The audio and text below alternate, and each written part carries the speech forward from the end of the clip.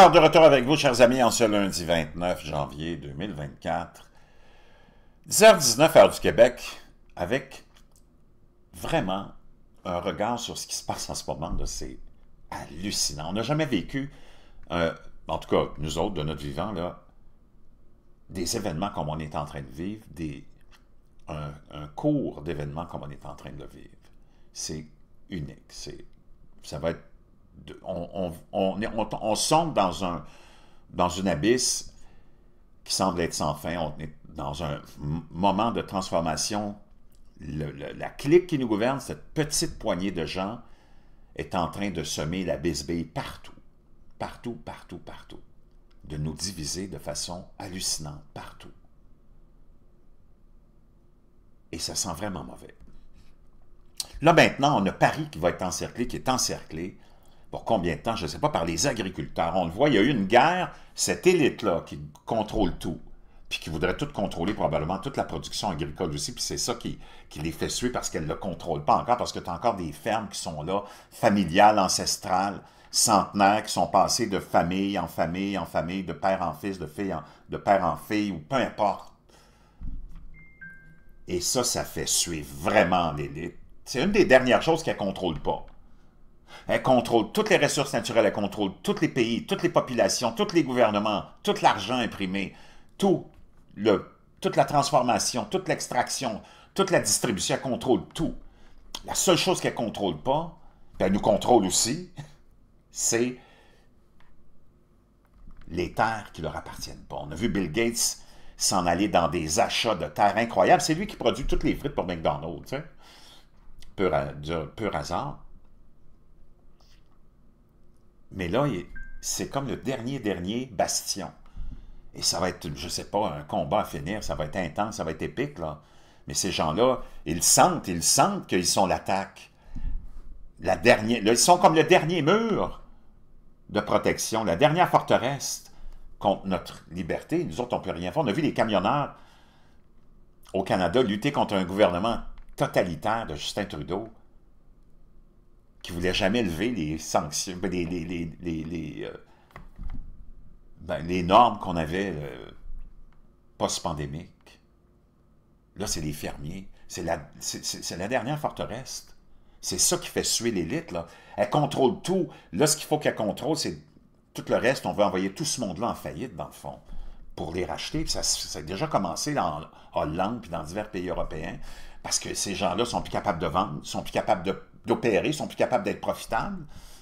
Leur seule option, c'est de vendre, puis on leur offre un bon prix, puis tu succombes à la tentation. Tu succombes à la tentation. Tu succombes à la tentation. Pendant combien de temps tu vas être capable de résister? Ça, ça va probablement être l'espèce de, de, dernière goutte qui va faire déborder le vase puis va nous faire verser totalement dans le totalitarisme complet. C'est vraiment inquiétant tu vois les attaques du Forum économique mondial, où tu vois la clique, l'élite de, de ce groupe, de ce complexe industriel, puis pharmaceutique, militaro-industriel et médiatique, et scientifique ou pseudo-scientifique, sont tous là. Tout du monde pas élu, qui vivent grassement, en se promenant. Même Bill Gates dit, je suis probablement celui qui a la plus grande empreinte, euh, supposément, l'empreinte euh, environnementale contrefou. Pendant qu'on dit qu'on voudrait qu'on nous autres, on atteigne le net zéro d'ici 2030-2035, on produit 95 millions de barils de pétrole par jour. On n'a jamais produit autant. Toutes les, ils sont obligés de rouvrir toutes les usines de charbon pour produire de l'électricité parce que le vent, l'éolien puis le solaire, c'est totalement inefficace. On voit les, les ventes des voitures électriques en chute libre parce que les gens, leur engouement n'est plus là. Puis si c'est pas subventionné, ça marche pas. Donc, on les voit démoniser. Là, ils sont arrivés avec une nouvelle attaque. Une nouvelle attaque pour vraiment en finir. Hey, oublie pas que Staline a qualifié les paysans d'ennemis du peuple, puis ils a tout expropriés. L'État a pris le contrôle de la production alimentaire, puis il y a 7 millions de Russes qui sont morts de faim. C'est pas possible. La pêche et l'agriculture sont un écocide. Ah oui, ça c'est le nouveau terme maintenant qu'on vient de lancer au Forum économique mondial cette année.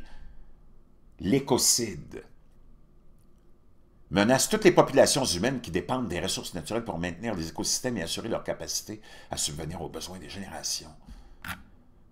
Donc, on démonise l'agriculture et la pêche.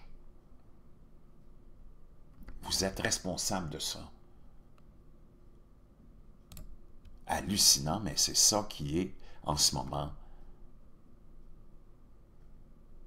la norme. C'est de te convaincre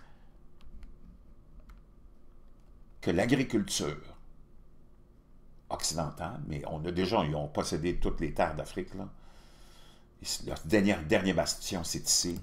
On veut te convaincre, toujours avec la moralisation de tout, hein? naturellement, la gauche, cette élite gauchiste, globaliste, mondialiste fonctionne comme ça. Que tu dois avoir des remords, c'est toi qui es responsable. Comme on vient de blâmer, puis on vient lancer toutes sortes de ballon pour diviser les populations, hein? le racisme systémique. Nous autres, on, est, on vit avec le monde. Nous autres, la population, on vit avec nos frères, nos sœurs de toutes les couleurs. Nos enfants vont dans les mêmes écoles, on travaille ensemble, on mange ensemble. Nous autres, on n'a pas de problème. Qui a exploité toutes les populations? C'est cette petite classe industrielle-là qui, avec la politique, qui est l'outil de distraction numéro un, à l'aide des médias, nous distrait, nous envoie dans toutes sortes de directions pour qu'on ne parle pas des vraies affaires de cette clique qui nous gouverne, qui possède tout, puis qui veut rien partager, puis qui exploite toutes les populations, puis qui a créé le racisme, qui a créé l'esclavage, qui a créé la misère. Puis on lance des ballons, puis on vient nous moraliser, puis nous démoniser en nous accusant, nous, puis en mettant le blâme sur nous, pour du racisme systémique, pour ceci. Voyons, c'est complètement hallucinant pour pas qu'on parle. Puis les médias sont complices parce que les médias leur appartiennent et lancent ces ballons-là. Et viennent te moraliser, viennent te culpabiliser. OK, tu as toujours deux, trois éléments, des têtes folles, des idiots, autant à gauche qu'à droite, mais 99% de la population à travers le monde vit en harmonie entre elles. C'est pas nous autres qui exploitons qui que ce soit. là. C'est pas nous autres qui avons exploité, créé l'esclavage. C'est pas nous autres qui avions des esclaves à notre service. On n'a pas une scène d'impoche. On était les esclaves aussi, puis on l'est encore. On est tous esclaves du système bancaire et du système actuel. Les agriculteurs protestataires en France encerclent Paris avec des barricades qui promettent un siège très long. Très long, parce que ça y est, c'est ça, c'est l'attaque totale finale. On veut, c'est la seule chose qui ne contrôle pas. Il y a une seule chose que le complexe industriel, la petite clé, ne contrôle pas, c'est le fait que ton cousin, ta mère, ton père, ta grand-mère aient encore une ferme. Et ça, ça les fait suer.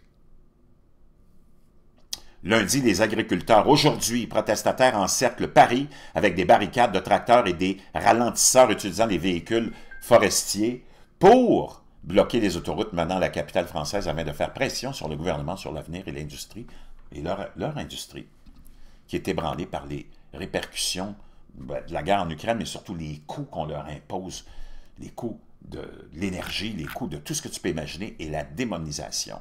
Les manifestants ont répondu en déployant des centaines de tracteurs de remorques et même moissonneuses batteuses grondant pour bloquer et ralentir la circulation dans ce qu'ils ont décrit comme un siège visant à obtenir davantage de concessions du gouvernement du nouveau premier ministre Attal. Certains manifestants sont venus avec des réserves de nourriture, d'eau et de tentes pour rester sur le barricade si le gouvernement ne cède pas, cède pas de terrain. Wow! Je peux te dire une chose, c'est parti, c'est probablement, la, si je te dis, c'est la, la, dernière résistance, c'est la dernière guerre, la dernière résistance face à nos derniers moments probablement de ce qu'on pensait être société libre ou démocrate. Je ne sais pas comment tu peux décrire ça, mais vilé maintenant, ces moments-là, parce que ils s'envolent vraiment en fumée. Combien de temps ces pauvres gens-là vont pouvoir résister? Si nous autres, on n'est pas là derrière avec eux? Si on est là derrière avec eux, ce système-là, cette élite-là s'effondre, est obligé de changer. Même si elle change, si on les... Tu ne pourras jamais changer l'élite, ils sont trop puissants, mais tu peux les... Si on est là avec eux, ça peut changer quelque chose. Mais est-ce qu'on va être là avec eux? Ça, c'est la question.